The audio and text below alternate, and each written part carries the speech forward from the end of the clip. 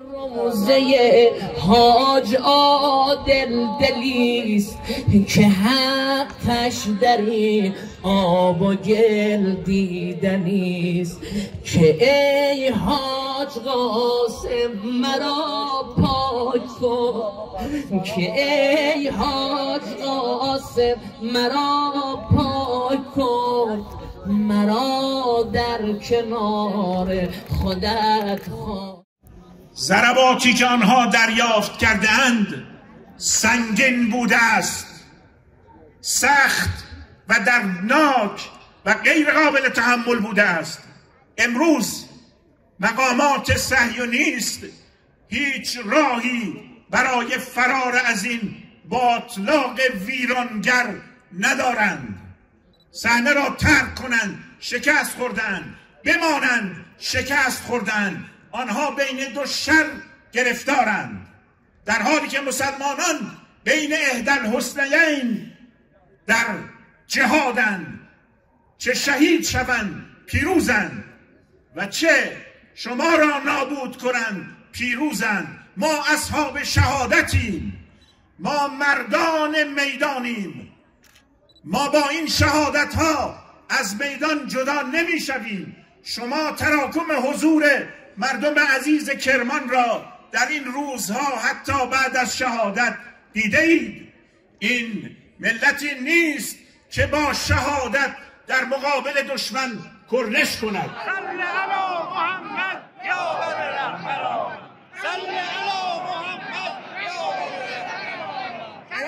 جمهور ما ما اهل کوفه نیستیم.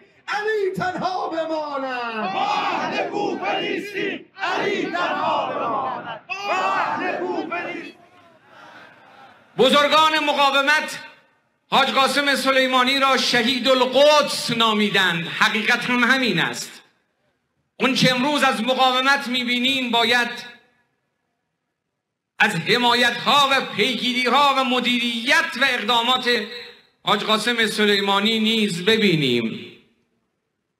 اگرچه باید از فلسطین تجلیل کرد از حماس تجلیل کرد از حزب الله تجلیل کرد اما نقش حاج قاسم نقش بیبدیلی بوده. امنیتی که امروز در منطقه وجود دارد و در غرب آسیا مرهون حاج قاسم سلیمانی است. خانواده شهدای عزیز کرمان بدانید خون متحر فرزندان شما همسران شما همکاران شما همچنانی که در مورد وجود مقدس ابی عبدالله در زیارت اربعین می‌خوانیم. بذل مهجته فیک لیستنقذ عبادک من الجهاله و حیرت الزلاله. خدایا حسین خون قلبشو داد تا از جامعه جهل زدایی کند. امروز خون متحر بچه های شما از جامعه بشری جهل زدایی کرده. کی در عالم این گونه دلها متوجه فلسطین بود؟ دلها متوجه مقاومت بود؟ در دلها نفرت نسبت به رژیم سهیونیستی و امریکایی ها بود؟ خداوند متعال از برکات خون متحر شهیدان مردم جهان رو بیدار کرد. این بیداری که امروز شما در مردم جهان در جای جای دنیا می‌بینید به برکت خون متحر شهیدانه. یقین بدانید ابتکار عمل به دست نیروهای مقتدر ماست. مکان و زمان را نیروهای ما تعیین خواهند کرد. ما می‌دانیم پایان طوفان الاقصا پایان رژیم سهیونیستی خواهد بود انشاءالله.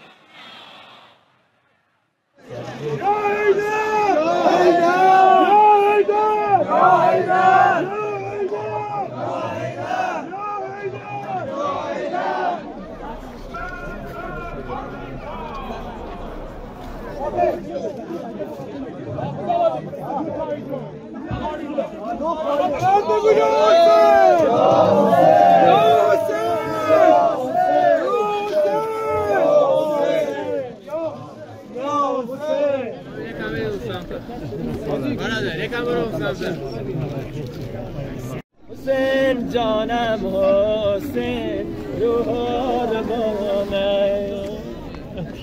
حسین جانم حسین آرام جانم حسین جانم حسین روح روانه